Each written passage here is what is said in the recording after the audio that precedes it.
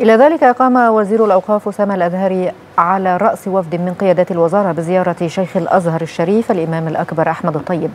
وأكد وزير الأوقاف أن الإمام الأكبر واجهة الأزهر الشريف ورمزه المعبر عنه عن مصر أمام العالم في الشأن الديني.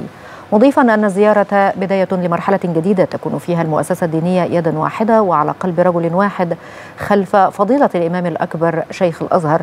لافتا إلى أن الأجواء الصافية والتنسيق التام بين كل مكونات المؤسسة الدينية هو البداية الحقيقية لتجديد حقيقي للخطاب الديني ونشر قيم الإسلام السمحة ومواجهة كل تحدياتنا والنهوض بوطننا العظيم.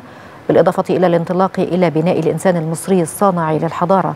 تأتي هذه الزيارة انطلاقا مما أعلنه فضيلة وزير الأوقاف من اصطفاف الوزارة ودار الإفتاء ومشيخة الطرق الصوفية ونقابة السادة الأشراف جميعا خلف الأزهر الشريف وإمامه الأكبر وتنسيقا تاما مع الكنيسة المصرية الوطنية جمعا لشمل كل أبناء الوطن بروح التسامح والإخاء وتحقيقا لمبادئ المواطنة الكاملة الدافعة لنهوض الوطن إلى مكانته اللائقة.